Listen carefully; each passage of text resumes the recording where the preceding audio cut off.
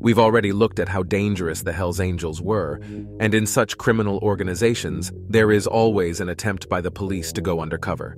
And Hells Angels was no exception. But the revelations of the organization were stranger than expected. In today's video, we'll look at the undercover chapter of the Hells Angels and the revelations it brought. Let's get started. An undercover agent who successfully infiltrated the notorious Hells Angels motorbike club had divulged the Hells Angels' stringent sex regulations. Jay Dobyns, who is now 61 years old, was working for the ATF, Bureau of Alcohol, Tobacco, Firearms, and Explosives, when he spent two years looking into the Hells Angels as part of a covert operation to uncover the illegal organization that the gang was involved in. Between 2001 and 2003, he adopted the fictitious identity of Jay Davis or Jay Bird. He pretended to be a gun runner and debt collector, joining the organization's chapter in Mesa, Arizona. After he had been successful in getting an invitation to join, he rapidly learned about the stringent regulations that all members were required to follow regarding having sex with women. Otherwise, they risked experiencing some violent consequences. In a video interview with Insider, he revealed the regulations by saying that there is a hierarchy within the gang concerning women. Some older women are the wives or girlfriends of members, and you're not allowed to talk to them.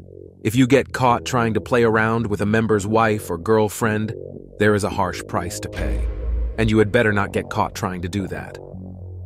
Dobyns did, however, explain that the bikers were allowed to sleep around with different women and that it wasn't a problem when members slept with the same woman more than once. He continued by saying that women also move from member to member. The Hells Angels Motorcycle Club was established in Fontana, California in 1948. However, they have since grown into one of the most infamous motorcycle clubs in the world, with more than 100 chapters spread throughout more than 29 countries.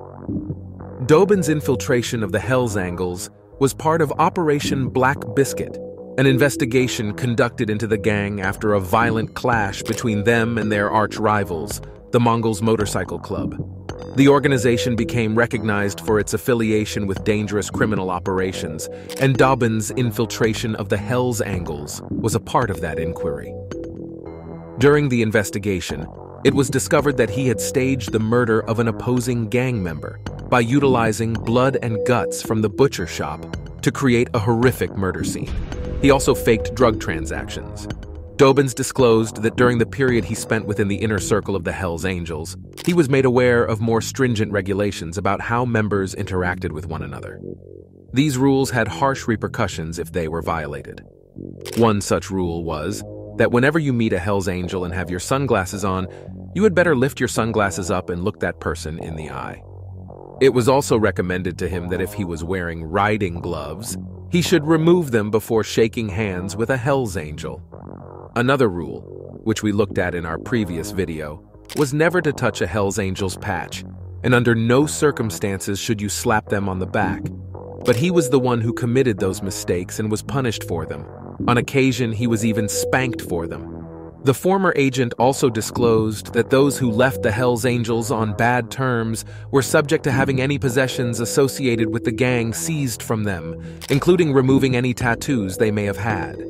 He also added that if you're out terrible, they will come and take back their cut, their vest. They will take back your motorcycle because in their eyes, it is their property. Dobyns also said that many Hells Angels members aren't involved in a lot of crime, which is ironic considering the group's notoriety as a gang that engages in various criminal activities. He stated that some branches of the gang run a fairly clean business, adding that it was a fallacy that every member was a drug addict, and claiming that some were fitness freaks. He also stated that the notion that every member was an addict was a lie. They ate healthily, got plenty of rest, and didn't drink or smoke, which paid off for them. But according to the United States Department of Justice, the undercover investigation did reveal evidence that the Hells Angels were involved in multiple illegal acts, including but not limited to murder, the production and distribution of methamphetamine, the distribution of cocaine, heroin, and marijuana, as well as the purchase and sale of firearms. 55 members of the Hells Angels and its affiliates were indicted as a result of Operation Black Biscuit. This included 16 high-ranking members of the gang who were indicted on counts including murder, murder for hire, racketeering, and drug trafficking. After entering into plea deals, the charges against half of the defendants were dropped or reduced, and five of the defendants had their cases completely dismissed. After the arrests were made, the members learned that Dobyns was actually working with the government, and he claims that after that, both he and his family began to get threats of violence. The threats against him and his family started piling up, and the Hells Angels had murder contracts on him. When his family's home was destroyed by fire in 2008, the purported threats were too real for him and his loved ones. Even though they were sound sleeping inside the house during the terrifying event, his wife and children miraculously made it through it unscathed and were able to flee. Dobyns has stated that he betrayed his family by putting the undercover investigation ahead of ensuring the safety of his loved ones, yet he has continued to speak out about the operation following his retirement. Apparently, he is not the only one who tried to investigate the Hells Angels. Another even more interesting investigation was done as a result of Joshua O'Brien. Well, in simple terms, things did not turn out well for him. After being suffocated and battered, Joshua O'Brien regained consciousness on July 12th inside the Cool Cats tattoo parlor in Englewood. He had his hands and ankles bound and was bleeding. With Hells Angels motorcycle club members all about him, shop owner Dusty Ulrich began blacking off O'Brien's death head tattoo, the symbol of membership in the famed biker club. In its place, Ulrich scribbled the word bad into O'Brien's skin, while other Hells Angels snapped photos on their phones. And in the middle, Ulrich threatened him that if he ever told anyone about it, Ulrich would kill him and slit his throat. However, O'Brien informed the police of what had occurred, initiating a five-month investigation into the famed bikers that culminated when investigators raided the Hells Angels clubhouse in Denver's Highland District. Officials confiscated methamphetamine, cocaine, cash, and dozens of firearms during the early morning raids there and elsewhere. 13 Hells Angels members, aged 30 to 81, were charged with breaching Colorado's organized crime legislation and assault, burglary, and kidnapping offenses. A 14th member of the Destroyer motorcycle gang was also charged.